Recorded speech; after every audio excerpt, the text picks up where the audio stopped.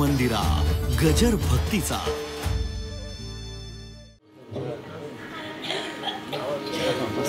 आजच्या पवित्र कीर्तन सेवेसाठी जो अभंग आपण घेतला निवडला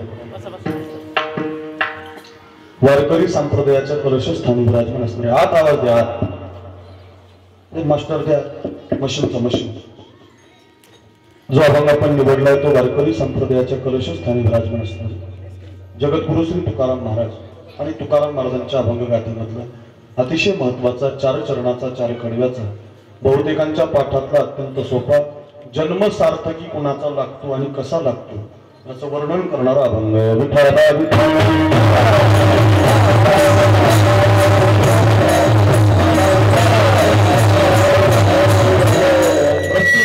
तीन प्रकारचे जन्म तीन प्रकारच्या जन्माने हे जग भरते एक देवाला जन्म आहे. एक साधूला जन्म आहे आणि तुम्हाला मला जन्म साधूचा जन्म देवाचा जन्म आणि तुमचा माझा जन्म असे तीन जन्म आहे मात्र या तिघांच्या जन्मापैकी कोणाच्या तरी जन्माची सार्थकता आजच्या अभंगात आहे ते आपण चिंतनामध्ये पाहणार आहोत. पैकी अल्पसा पर्याय आहे आपल्या या कुंभेफळ नगरीमध्ये. गेल्या पंचावन्न वर्षाची परंपरा घेऊन या गावाला परंपरागत चालणारा हा भव्यदिव्य स्वरूपाचा अखंडरण सत्रा सोहळा आणि या सप्ताहातील आजची ही चौथ्या दिवसाच्या कीर्तनाची सेवा. समस्त ग्रामस्थ मंडळी कुंभेफळ यांच्या वतीनं दोन तीन वर्षापासून या गावचा माझा संबंध आहे. गेल्या वर्षी आपण या सप्ताहाचा काला केला होता. फार सुंदर काल्याचं कीर्तन झालं होतं. अजूनही मला गावातल्या सगळ्या लोकांचे फोन येत असतात की बाबा आम्ही असा काला ऐकला नाही. असं गेल्या वर्षी झाला होता. याही वर्षी मला काल्याचंच कीर्तन दिलं होतं. पण थोडीशी अडचण आली. गुरुवर्य संजय बाबा पाचपोर आम्ही ज्यांच्या हाताला हात धरून परमार्थ करतो अशी पाचपूर बाबा यांनी विनंती केली की मला थोडीशी अडचण आहे.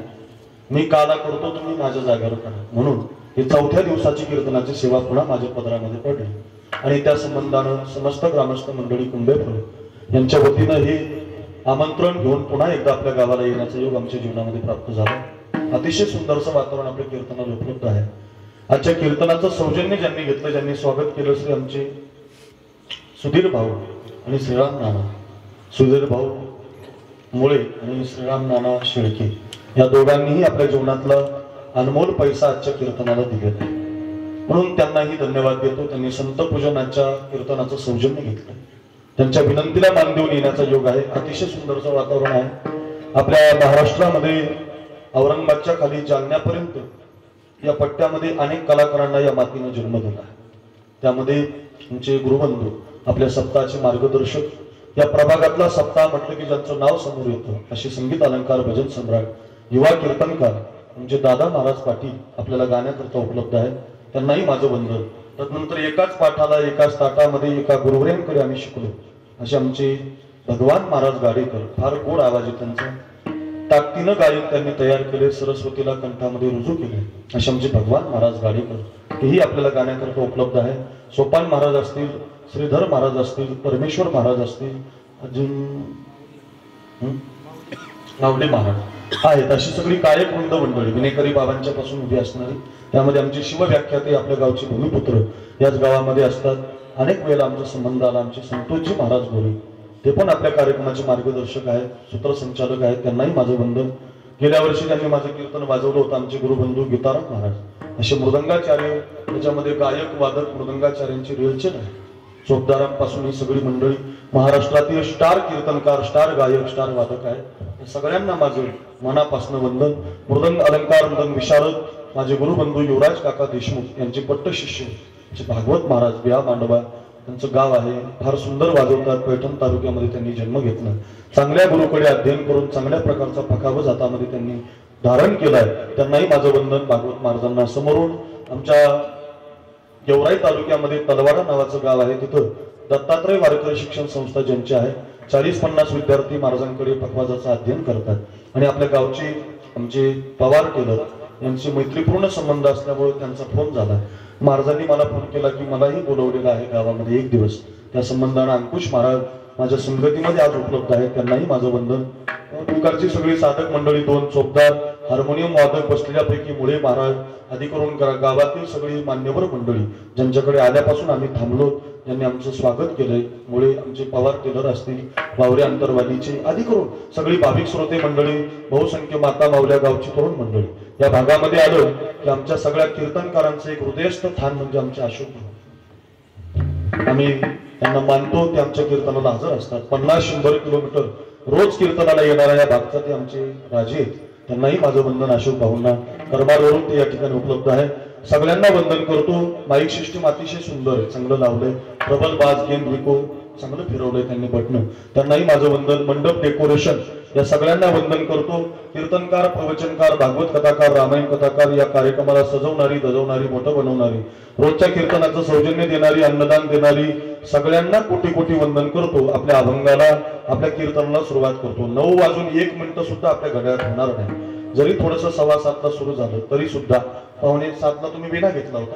त्यामुळे नऊ वाजून एक मिनिटं सुद्धा नाही. बरोबर नऊ पाचला तुम्ही तुमच्या घरामध्ये असाल. नऊ पाचला मी माझ्या गावाकडे निघेल. असं माझं नियोजन असतं. बरोबर नऊ वाजता कीर्तन संपेल. एक तासामध्ये दोन तासाचं कीर्तन देतो. फक्त एक काम करा. हातानं टाळी अजिबात वाजू नका. मुखानं विठल विठल काय म्हणू नका. फक्त सर्वांगाचे कान करून एक तास लक्ष देऊन ऐका. विठाला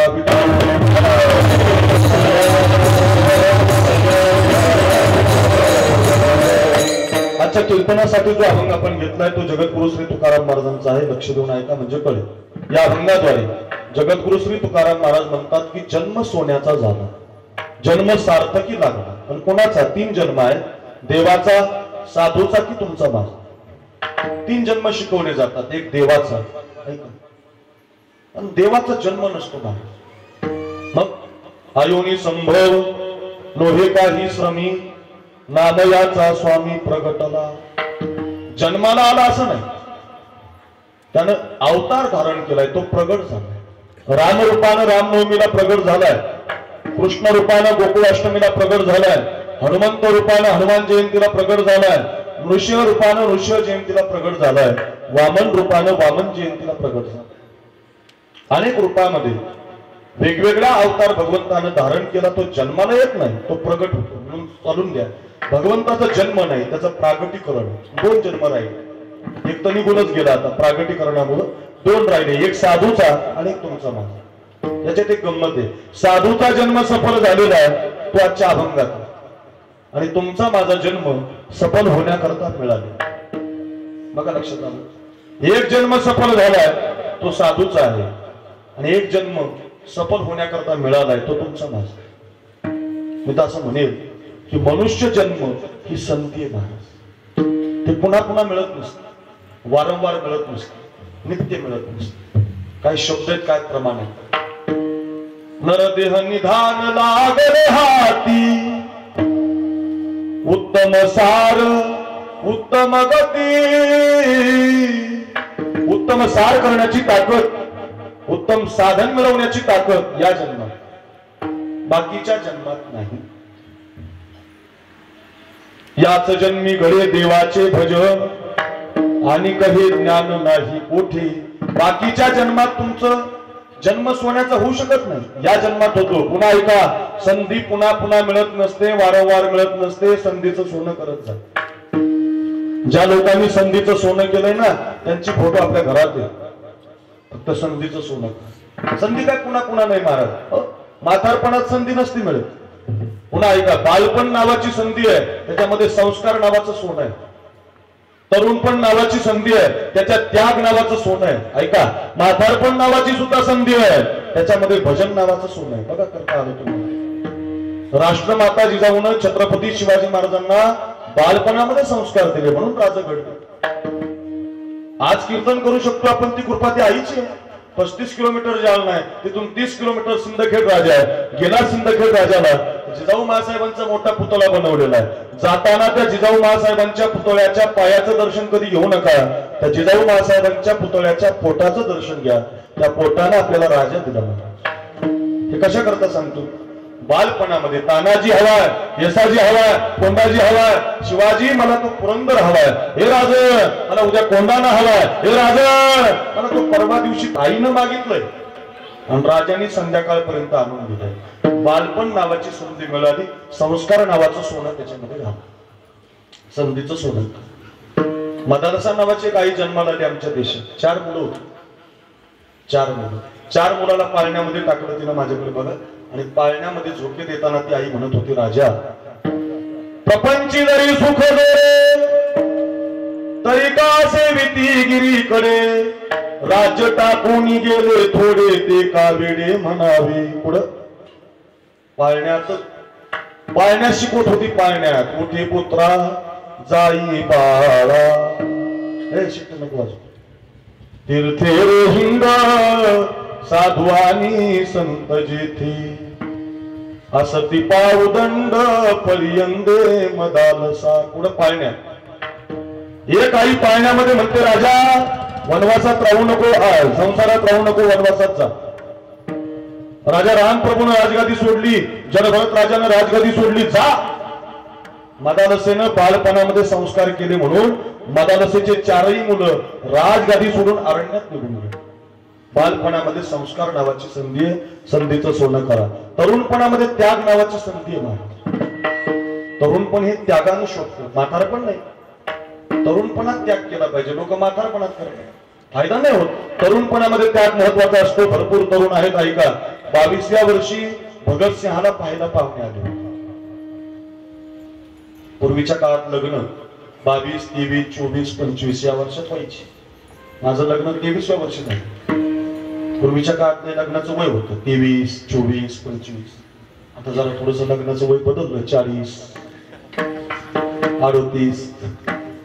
तू म्हणाल तुम्हाला कसं काय माहिती? माझं मी होणार चाळीसचा लग्न व्हायलाच ना माझं. लग्नाचं वय बदललं. पूर्वी बावीस तेवीस वर्षाचा पोरगा झाला की त्याला पाहायला पाहुणे यायची. म्हणजे भगतसिंहाला आले पाहिलं माझ्याकडे बघा फार गोड आहे भगतसिंह ते बैलगाडीमध्ये आले पाहुणे ती बैलगाडीतून उतरली घरातल्या पलंगावर जाऊन बसले.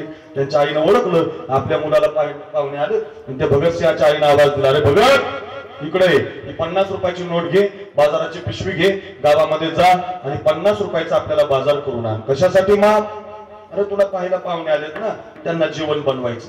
भगतसिंहाच्या लक्षात आलं पन्नास रुपयाची नोट हातामध्ये घेतली बाजाराची पिशवी घेतली गावातल्या बाजाराकडे निघाले पन्नास रुपयाच्या नोटेकडे बघायचे हातातल्या पिशवीकडे बघायचे विचार करायचे पन्नास रुपयाचा बाजार जर या पिशवीमध्ये मी भरला तर ही पिशवी घरी जाईल. आई या बाजाराचा स्वयंपाक करेल आईनं जर या बाजाराचा स्वयंपाक केला तर पाहुणे जेवण करतील. पाहुण्यांनी जर जेवण केलं तर पाहुणे मला पसंत करतील. मी जर पसंत झालो तर माझं लग्न जमेल. लग्न जर जमलं तर मला बाईचं ऐकावं लागेल. तुमच्या औरंगाबाद कसं काय हा? नाही? हो सगळ्या जगात संसार चालत नाही ना त्याच्याशी. संसारामध्ये बाईचं ऐकावं लागेल. मला बाईचं नाही ऐकायचं. मला भारत आईचं ऐकायचंय. भगतसिंहानं पन्नास रुपयाची नोट खिशामध्ये घातली.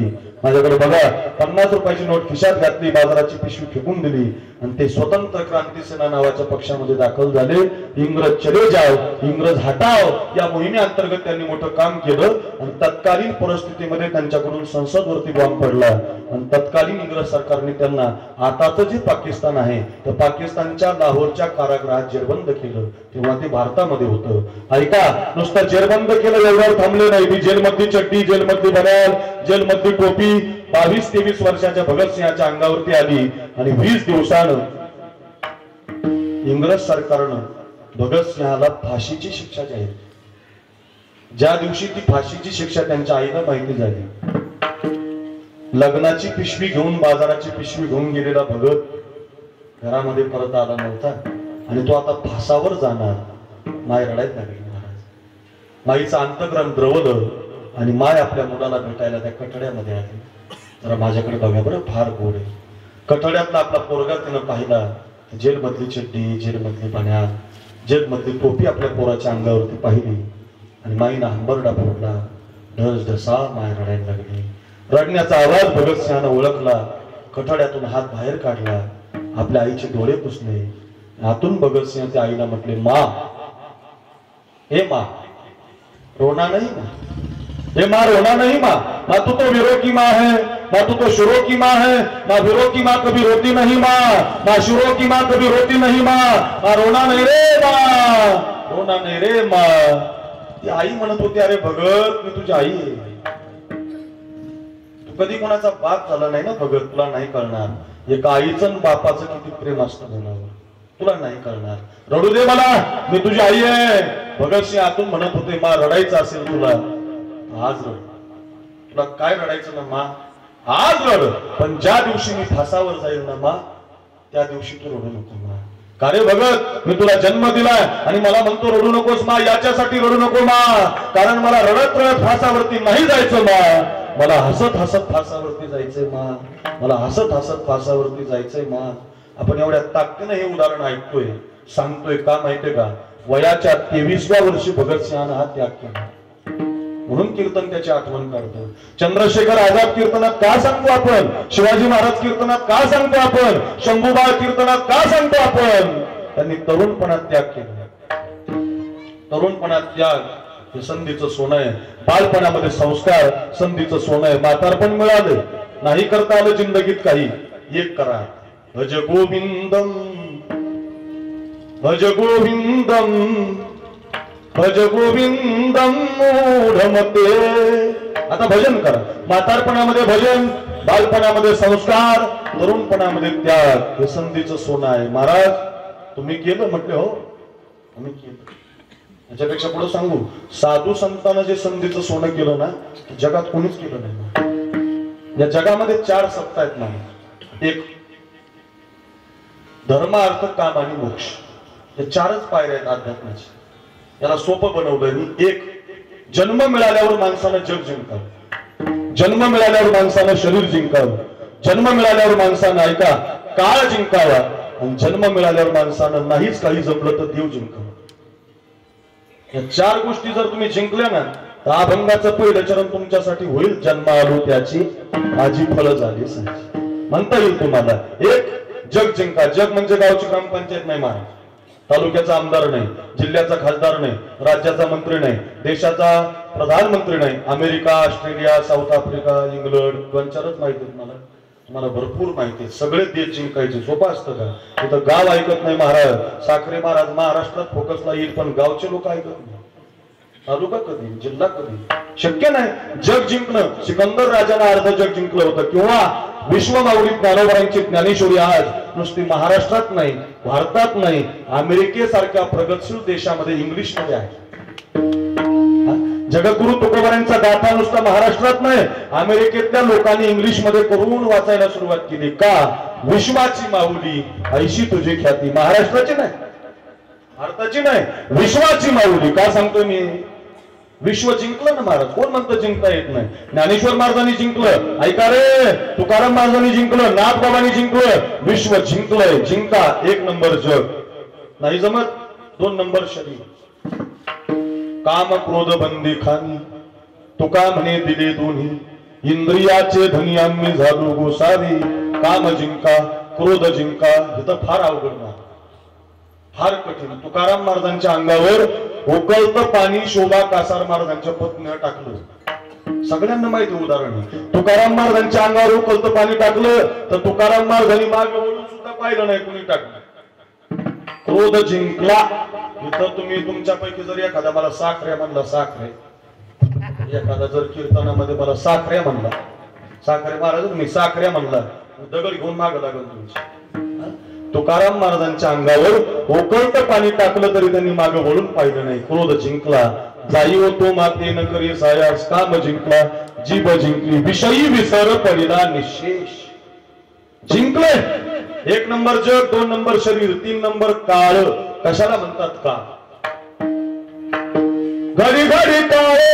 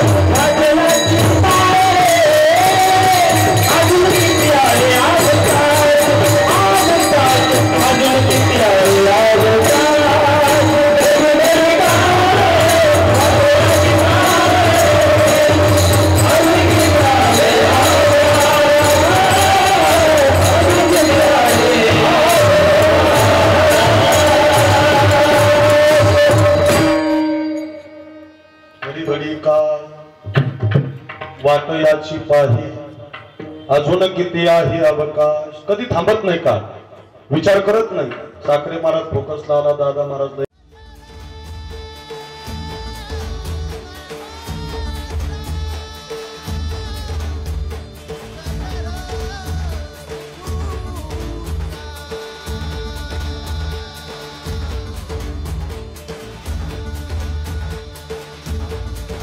मन मंदिरा. गजर भक्तीचा